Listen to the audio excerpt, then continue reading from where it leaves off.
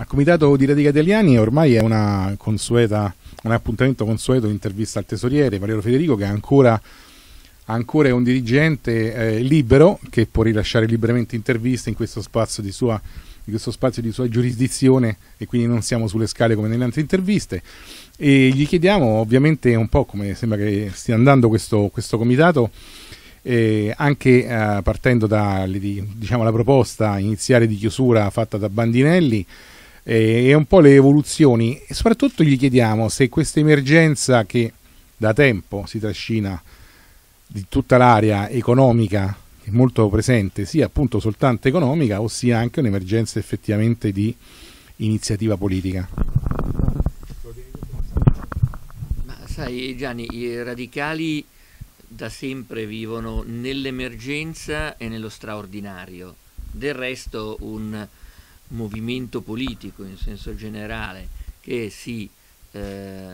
oppone al regime, prima di tutto che lo conosce, lo descrive e poi cerca di contrastarlo, non può che muoversi in situazioni di, di difficoltà complessiva naturalmente, quindi di urgenza e di straordinarietà. Eh, per quanto riguarda la situazione economica, certo che è una situazione eh, delicata, è una situazione eh, delicata che ehm, coinvolge l'intera area radicale. Eh, questa difficoltà è dovuta al fatto che i radicali non eh, possono più o non riescono più ad, ehm,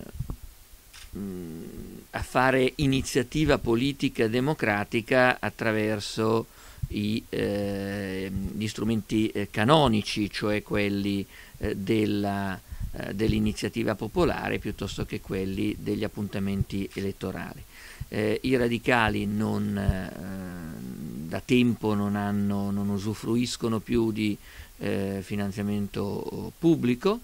ehm, dal punto di vista naturalmente delle, degli appuntamenti elettorali, cioè dei soggetti elettorali, quindi non della, non della radio, che però è parte a sé. Eh, e quindi eh, naturalmente eh, non hanno neanche più i contributi dei eh, parlamentari, non essendo noi più presenti in Parlamento, e quindi eh, diciamo che si nutrono solo del, dell'autofinanziamento. L'autofinanziamento è complessivamente in calo negli ultimi anni, anche se eh, ci sono eh, soggetti della galassia radicale che si muovono in controtendenza. Radicali Italiani è riuscito eh, nell'ultimo anno a interrompere l'emorragia eh, di autofinanziamento, invertendo seppur eh, leggermente la tendenza alla diminuzione eh, appunto degli ultimi anni. Certo il problema esiste, il problema esiste anche perché non ci sono eh, risorse sufficienti in questa fase per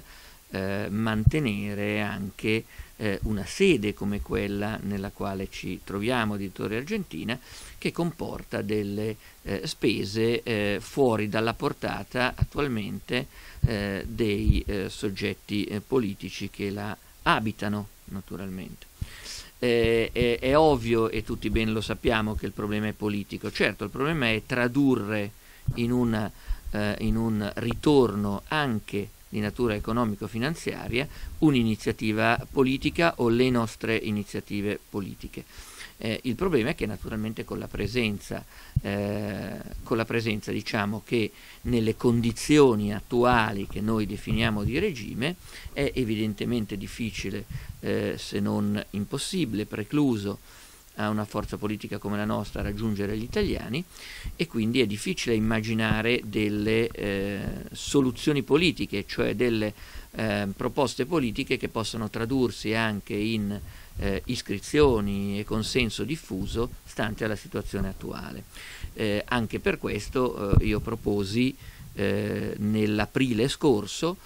una soluzione patrimoniale. Più volte i radicali hanno messo a disposizione diciamo, il loro avere per l'essere, no? si diceva così e si dice così, ebbene eh, avevo eh, proposto l'aprile scorso di affittare eh, la sede eh, di Torre Argentina per acquisirne un'altra più adatta alle attuali eh, esigenze e meno costosa, naturalmente con un mutuo.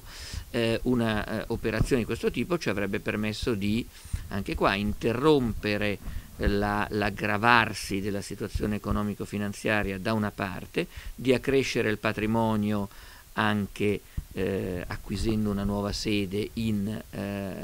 mi pare 17 o 18 anni avevamo eh, calcolato e di garantire un'entrata seppur eh, relativamente modesta di circa 10.000 euro mensili eh, all'area eh, il tutto naturalmente con un'operazione di natura quindi immobiliare e patrimoniale. E, si è fatto ironia su questa proposta vedremo se ce ne saranno di più eh, efficaci eh, che aiuteranno anche dal punto di vista economico-finanziario eh, l'area. Valerio, mi sembra che una parte delle sorti, o forse tutte le sorti di, questo, di questa galassia, insomma, di questo, di questo, movimento, eccetera, come si può chiamare, definire, eh, vengono un po' trattate in riunioni fantomatiche definite delle 12 che pare di capire che si succedono ormai quotidianamente. Ecco, tu ne fai parte e, da un punto di vista, boh, non lo so come dire, organizzativo, statutario, che cosa sono?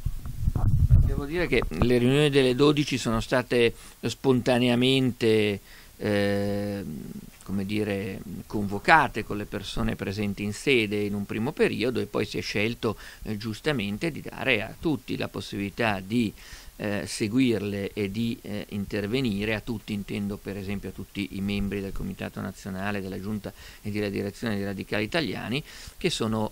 messi effettivamente nelle condizioni di scegliere se partecipare o meno, di seguire a distanza queste riunioni e se intervenire. Abbiamo segnalato che effettivamente, ho segnalato tra gli altri che magari l'orario non è il più eh, adatto, soprattutto per venire incontro ehm, a chi lavora, eh, ma certo francamente non credo che questo sia un problema. Il problema è un altro, il problema è che naturalmente queste eh, riunioni, secondo me eh, opportune, vanno a compensare delle altre carenze di natura eh, statutaria eh, che non riusciamo a colmare, a risolvere, che sono quelle della sospensione sostanziale dal punto di vista statutario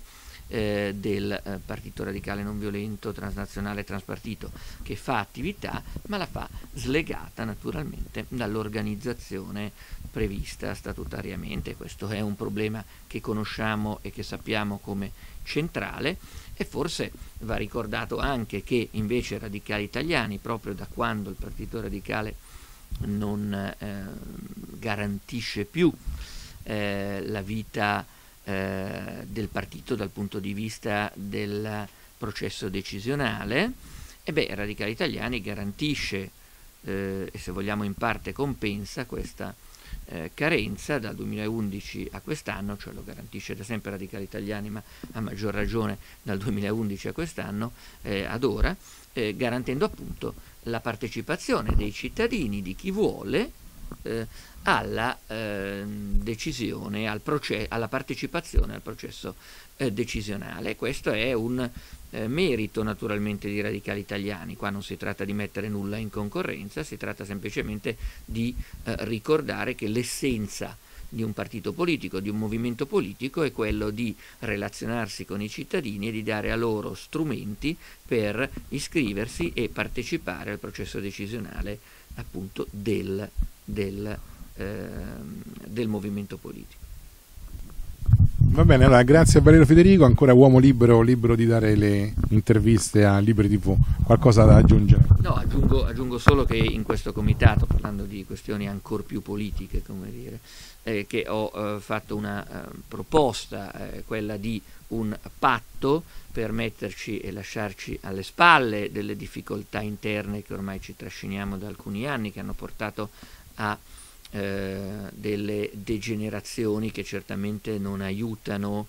eh, il rilancio dell'area radicale per quanto questo possa essere possibile. Eh, e allora io ho proposto un patto eh, che responsabilizzi eh, tutti noi, squadre, non squadre e via dicendo, su eh, due punti, due punti di potenziale eh, mobilitazione previsti dalla eh, mozione votata quasi al 90% nell'ultimo eh, congresso di radicali italiani. I due punti sono quelli di eh, mobilitarsi insieme naturalmente alle associazioni, ai punti di riferimento, ai militanti radicali su tutto il territorio, da una parte per eh, cercare di tornare a garantire agli italiani il diritto della, di conoscenza, cercando di eh, promuovere la denuncia che la lista pannella radicali italiani hanno eh, fatto eh, alla eh, CEDU eh, per quanto riguarda eh, la denuncia appunto allo Stato italiano di, della mancata informazione di questi anni, informazione non garantita ai eh, a, a, a, molte organizzazioni e movimenti politici, i radicali in, in, in, primis, e quindi cercando di mobilitarci per raggiungere i cittadini e eh, documentare a loro eh, quello che è il, il, quello che noi descriviamo come regime che impedisce proprio a loro eh, di conoscere per deliberare, di conoscere quindi chi propone politica e, propo- e, che fa proposte politiche in questo paese. Eh, e a questo ehm, affiancare la mobilitazione eh, locale, cioè ehm, utilizzando gli strumenti di iniziativa popolare eh, locale previsti per esempio dagli statuti dei comuni per cercare di eh, portare avanti di nuovo all'attenzione dell'opinione pubblica alcune nostre battaglie che si possono declinare anche a livello locale che sono legate principalmente all'antiproibizionismo, all'eccessivo eh, eh, per non dire grave pericoloso consumo del suolo e alla presenza delle società partecipate, eh, casa della nuova partitocrazia che consuma risorse pubbliche per finanziare il consenso ai partiti. Allora, eh,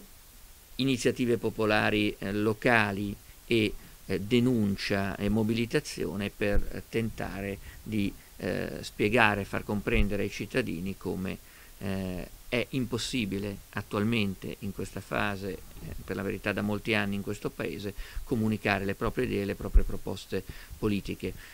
tutto questo tramite un patto eh, tra quelle che sono state definite anche da me sensibilità diverse presenti al partito per eh, riunirle in due obiettivi specifici e tornare ad essere efficaci nella nostra azione.